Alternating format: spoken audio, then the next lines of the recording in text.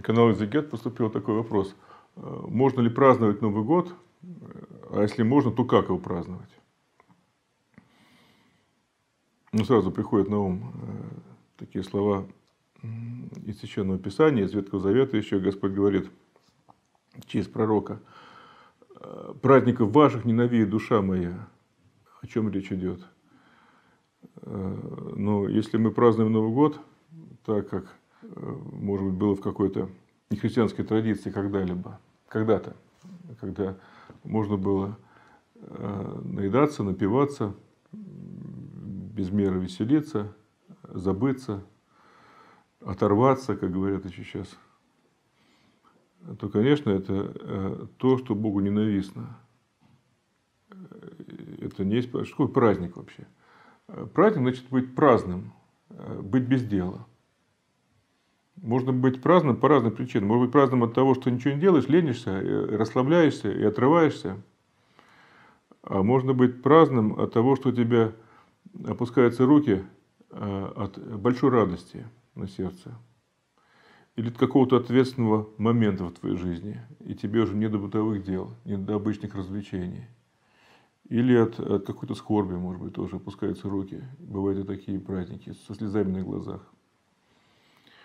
Ну, что такое Новый год? Э, э, Все же Новый год – это возможность э, посмотреть назад, что было в прошлом году, оценить нашу жизнь, которая была в течение прошедшего года, оценить ее с покаянием, конечно, вспомни о наших ошибках – и э, пообещав Богу эти ошибки больше не повторять, оценить одновременно и помощь Божию, которая приходила к нам в течение всего года, порадоваться, что мы по милости Божией дожили э, до очередного года нашей жизни. Просить у Бога, чтобы следующий год у нас был годом э, покаяния, чтобы мы стали ближе к Богу, чтобы э, душа наша стала светлее, чтобы обиды, которые были в прошлом году, от нас ушли. Э, хорошая альтернатива э, празднованию Нового года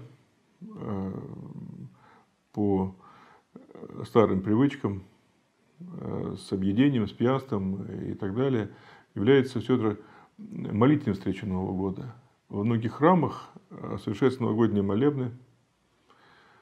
Э, многие христиане стараются 31 числа прийти на вечернее богослужение, а 1 числа встретить уже литургии, первое число, начало Нового года.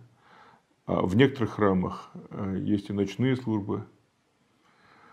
Пусть Новый год для нас будет праздником молитвы, праздником Духа, праздником благодарности Богу за все. И пусть начало нашего Нового года будет именно с таким правильным духовным настроем, угодным Богу. Пусть мы доверимся Ему полностью, насколько это возможно, вернее, лучше так сказать, по нашей вере.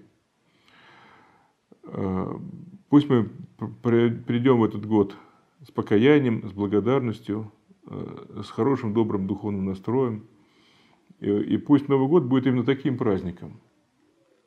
Праздником э, духовного настроения. Пусть новогоднее настроение будет настроение духовным и спасительным.